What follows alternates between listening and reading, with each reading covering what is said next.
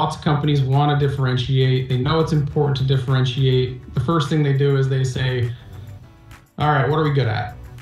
Okay, what are we the best at of the things we're good at? Okay, those are the things we're going to talk about in market because we know we're not supposed to talk about everything. So we'll take three things that we think that we're the best at. We're going to talk about those.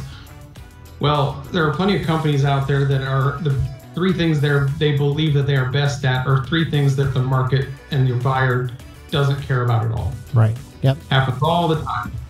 When we're working with the client to help them understand, help them build strong differentiation, it's about helping go through a, a gating process to say, is it unique? Doesn't have to be something no one else is doing, but are you doing it in a unique way?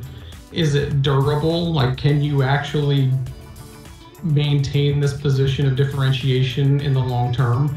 Is it provable? Can you offer this differentiator and prove it in a way that your buyer will accept as true?